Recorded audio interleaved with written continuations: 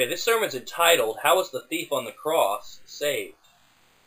I'd like to open with prayer, and then with a few verses. All right, dear God, thank you for giving us your Bible, your Word, and discernment, and uh, a clear understanding of what the Scripture says. Keep us safe, bless us abundantly. In Jesus' name I pray, amen. Now let's just open up with a few verses here in 1 John. 1 John chapter 5, I like to go there a lot. There's a lot of great verses here that explain salvation. It says in verse 1 Whosoever believeth that Jesus is the Christ is born of God. And every one that loveth him that begat, loveth him also that is begotten of him. Now, technically, to believe in Jesus includes the fact that he is the Christ. Okay? When Jesus said, He who believes on me has everlasting life, the implication is that he is the one that gives eternal life. He's the Messiah. He's the risen Savior. He died, was buried, rose again, and he did this so that you could have eternal life. So the implication is that you're believing that he is who he says he is. Now, did the thief on the cross believe that? Absolutely. Let's take a, but let's before we go to that verse, let's take a look at Acts chapter 15. Acts chapter 15 reads in verse 7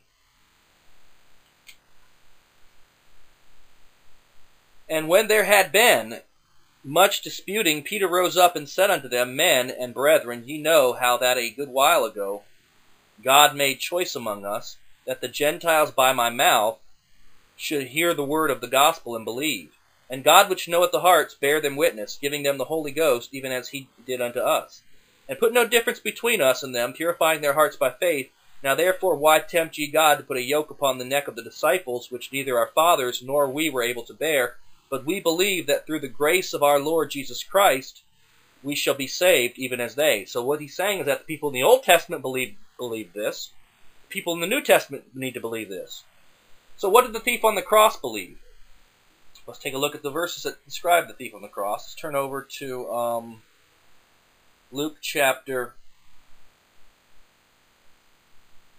23.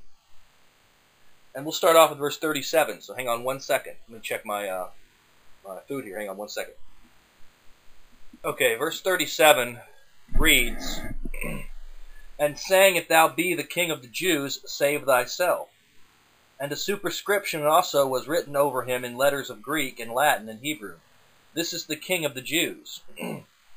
and one of the malefactors, that's another word for criminal, which were hanged railed on him, saying, If thou be Christ, save thyself and us. But the other answering rebuked him, rebuked, yeah, rebuked him, saying, Doest not thou fear God, seeing thou art in the same condemnation? Now that's the that's of course the thief on the cross who, who gets saved here. He understands that that Jesus Christ is God. You see that? So let's let's let's let's, let's take let's keep that in mind. Let's keep reading. And we indeed justly, for we receive the due reward of our deeds. But this man hath done nothing amiss.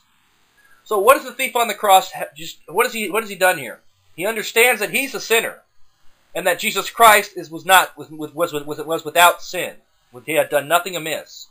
So that's his acknowledgement that Jesus Jesus is the Christ right there. Okay? Now look at this. And he said unto Jesus, Lord, remember me when thou comest into thy kingdom. What happened there? He had faith on Christ. He put his faith in Jesus. God saved him right there. And Jesus said unto him, Verily I say unto thee, today shalt thou be with me in paradise. So the thief on the cross just had simple faith in Christ. And that's, that's what saved him. Same thing with everyone, everyone else. He that believeth on the Son hath everlasting life. You believe on Jesus Christ, He's the Son, you got everlasting life. Same thing with the thief. So that's how the thief on the cross got saved.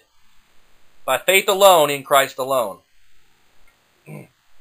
And it has nothing to do with confessing and repenting and um, any of that. It just has to do with believing. So the thief on the cross gets got saved the way everyone else gets saved, just by believing on the Lord Jesus Christ for eternal life. Now, of course, he admitted he was a sinner. He understood what was going on there. So that's all I have. Um, thief on the cross, not complicated. Now, these Church of Christ people will, will tell you that the thief on the cross, you know, he, he did more than just believe, because that's what they believe. They believe there's more to it than just believing, because they're not believers. They're lost. That's all I have. Dear God, thank you for allowing us to understand your word and how simple the, the gospel is. The Bible says, Thy faith hath saved thee. Go in peace. Believe only, and you will be made whole. So it's very clear. Just simply believing on Jesus Christ saves, period. Keep us safe. Bless us abundantly. In Jesus' name I pray. Amen.